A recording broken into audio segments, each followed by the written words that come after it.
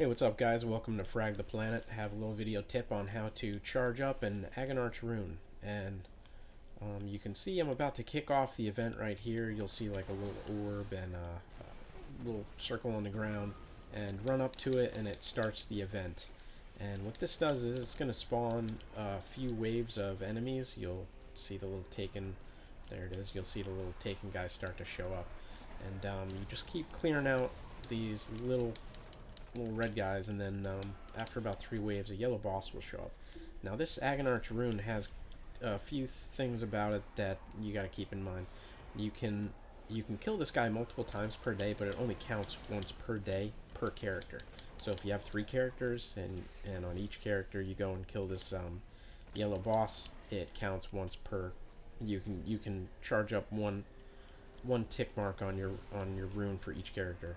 It's um, it is a little confusing, but that's just how it works. But if you only have one rune and three characters, you can move that rune between all your other characters, and and it'll it'll count up. So you can actually on one rune you can go up three points in one day.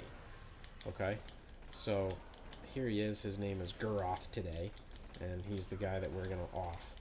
So I've already done this um, twice today once on my Warlock and once on my Titan on the same rune. So I know it works, and um, you can see here, um, actually I moved it off my inventory. Oh, here it is. I'm bozo. Charged Agonarch rune. So mine's all set to go. I have another one on my Titan that has one point on it. So that's how you do it. Um, hope this little video tip helped you out.